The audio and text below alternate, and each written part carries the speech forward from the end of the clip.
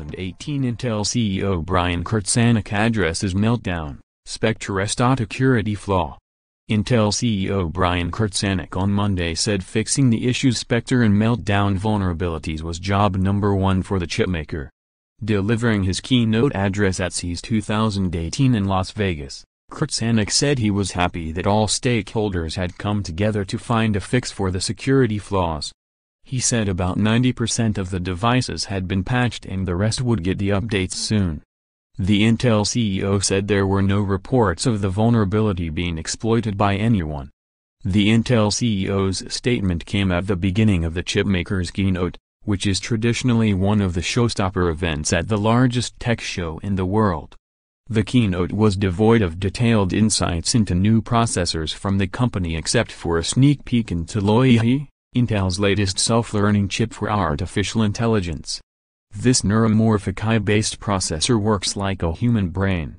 Intel also showcased a new 49-qubit quantum processor chip during the keynote.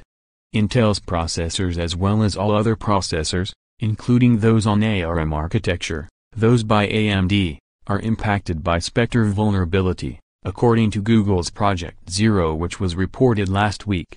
Security researchers discovered the flaws nearly a year back and informed Intel of the same as well.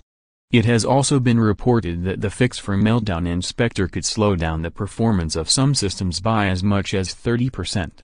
However, the company has insisted that not everyone will face a significant reduction in performance. The Intel CEO said during his keynote, we will continue working with the industry to minimize the impact on those workloads over time. Krzanich also said he expects all processors to have updates for the vulnerabilities by the end of January.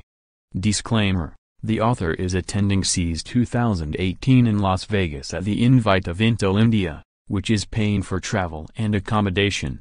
For all the latest technology news, download Indian Express app.